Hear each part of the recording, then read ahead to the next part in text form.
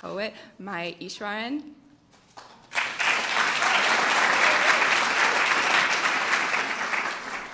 Hi, my name is Maya Eswaran, and I'll be the National Student Poet for the Southeast this year. I'm so excited and honored to be here. and I'll be reading my poem, Linguistics. Linguistics, for my mother. Ma, I haven't spoken Tamil in three years. Call it forgetting or just prenatal Americanization.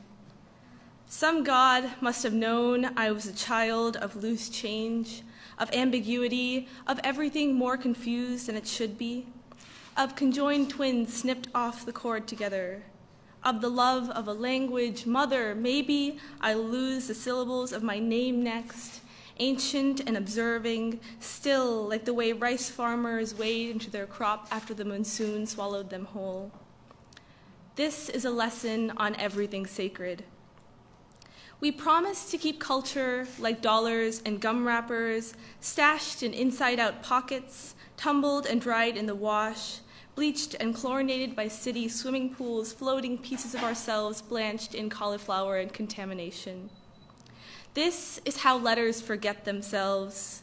This is how a daughter loses the weight of her tongue in her mouth, replaces it with a borrowed accent, a softer L, a rumbling A, a smeared R, toothpick consonants, dissonance. Ma, we were Indian until we weren't. Meanwhile, I pretend I am cultured. I read Dickinson, structure culture around the line breaks of my own ignorance. Outside, the sun melts into itself, and I am thinking of all the ways to say that I am lost. The crumpled syllables cramping in my mouth. This is not poetry anymore. This is what happens when a daughter forgets where her lungs are, what they were made of.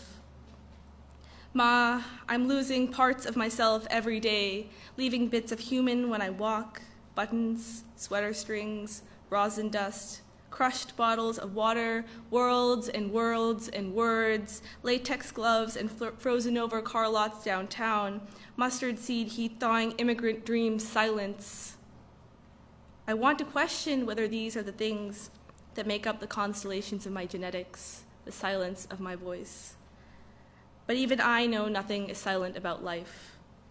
I've lost more than I've ever lost in 16 years. I've started shedding ethnicity like hair. Mother, I fear I'll go bald.